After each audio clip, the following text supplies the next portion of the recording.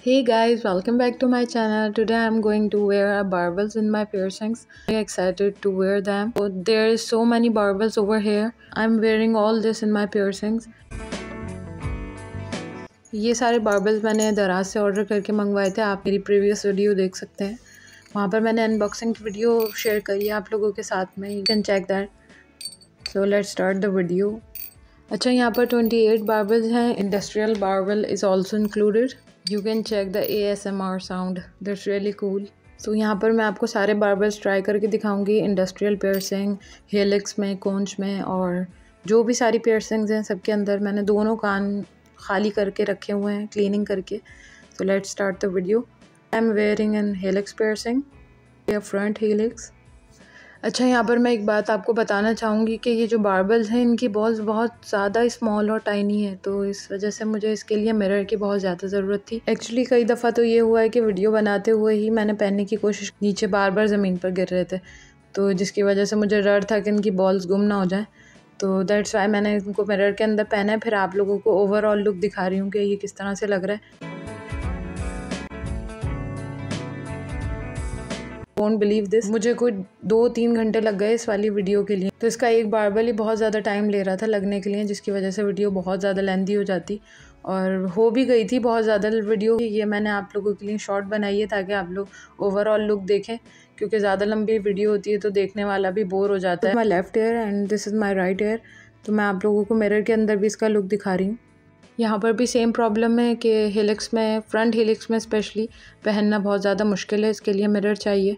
और मुझे दो तीन मिरर चाहिए होते हैं, एक बैक मिरर चाहिए होता है फ्रंट मिरर साइड मिरर तो इस वजह से मतलब बार बार मिरर चेंज करके मुझे चेक करना पड़ता है कि बॉल ठीक से सेट हुई है या नहीं, वरना इसके जो अंदर सर्कल्स बने हुए बहुत ज़्यादा टाइनी बने हुए तो इसके अंदर फिट होना काफ़ी मुश्किल काम है। मुझे ये देखने के बाद लगा था कि काफ़ी ज़्यादा इजी हैं easy to wear easy to go लेकिन अब जाके पता चल दिस इज़ नॉट इजी तो इसके लिए बहुत ज़्यादा एफ़र्ट लगी हैं। तो एफ़र्ट इसलिए भी लगती हैं क्योंकि जब भी मैं कोई पेयरसिंग वीडियो बनाती हूँ या चेंज पेयरसिंग करती हूँ तो मुझे सारी पेयरसिंग्स को उतार कर और इयर वगैरह को वॉश करना पड़ता है सैनिटाइज़ करना पड़ता है, उसके बाद दोबारा क्लीन करना पड़ता है सब कुछ। तो इसकी वजह से बहुत ज़्यादा एफ़र्ट्स और टाइम लगता है।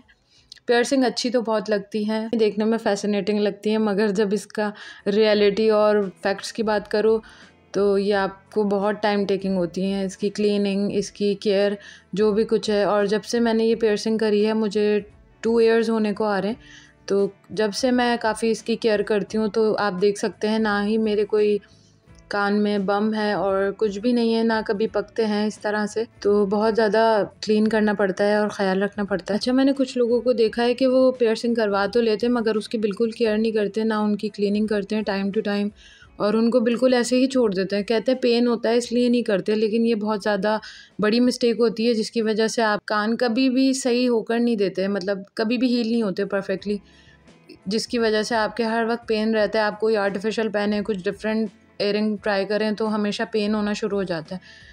मेरी इस पियर्सिंग को दो साल हो गए, मगर मैं आज तक हर टाइप की इयरिंग्स आपके सामने हैं, मैं पहन चुकी हूँ, उसमें हैवी ज्वेलरी भी पहन चुकी हूँ। आज तक कभी मुझे कोई पेन नहीं होता। आपने इयरिंग पहना है और आने के बाद आपके कान पकना शुरू हो गया, उनके अंदर बम बनना शुरू हो गया तो हमेशा जब भी क्लीनिंग करें डिटॉल से करें। अगर आपको डिटॉल सूट नहीं करता तो आप दूसरा कोई एंटी बैक्टीरियल यूज़ कर सकते हैं एज़ योर चॉइस तो मगर क्लीनिंग लाजमी करें, क्योंकि क्लीनिंग नहीं करेंगे तो आपकी पर्सन कभी भी हील नहीं हो, वो किसी भी टाइप की न्यू ज्वेलरी ट्राई करते के साथ ही आपको पेन करना शुरू हो जाएगी।